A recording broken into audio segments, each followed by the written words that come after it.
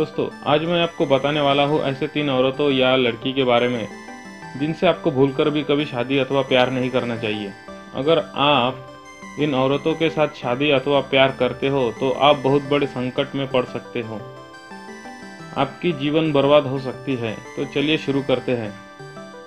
सबसे पहले प्रकार की जो लड़की है, वह है पैसों से प्यार करने वाली लड़की। जी हाँ दोस्तों, अगर कोई लड़की सिर्फ़ पैसों से प्यार करती है या फिर ऐसी लड़की जिसके लिए पैसों के आगे प्यार, रिश्ते का कोई महत्व नहीं है तो ऐसे लड़की के साथ कभी भी शादी या प्यार बिल्कुल भी ना करें।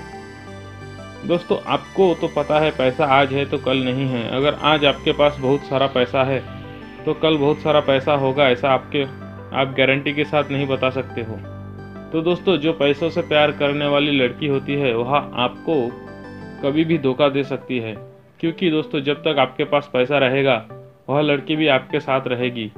जब आपका पैसा खत्म हो जाएगा, वह लड़की भी तुरंत आपको धोखा देगी। इसलिए दोस्तों, पैसों से प्यार करने वाली लड़की के साथ कभी भी शादी या फिर प्यार गलती से भी ना करें। जो दूसरे प्रकार की लड़की है, वह है चुगली करने वाली लड़की।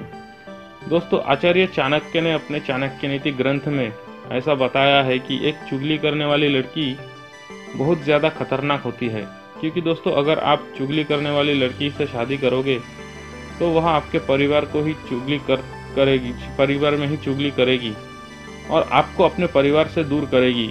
आपके और आपके परिवार के बीच ऐसी लड़की चुगलियाँ करके आपके बीच में दरार पैदा करेगी और आपके और आपके परिवार के बीच में, आपके और आपके दोस्तों के बीच में चुगली करके आपका एक दूसरे से, दूसरों से दूरी बढ़ाएगी।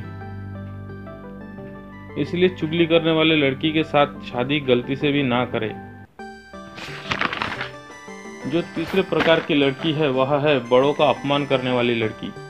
जी हाँ दोस्तों, आचार्य चाणक्य ने अपने चाणक्य नीति ग्रंथ में ऐसा कहते, कहा है कि अगर कोई लड़की अपने से बड़ों का अपमान करती है, यानी कि अगर वह लड़की अपने माता पिता का, अपने सास ससुर का, या अपने पति, यानी कि अपने से बड़ों का अनादर करती है या अपमान करती है तो ऐसे लड़की से शादी अथवा प्यार बिल्कुल भी नहीं करना चाहिए। क्योंकि आचार्य चाणक्य ने अपने से बड़ों का अपमान करने वाली लड़की को चरित्रहीन कहा है। इसलिए अपने से बड़ों का अपमान करने वाली लड़की से भूल कर भी कभी भी आपको शादी नहीं करनी चाहिए।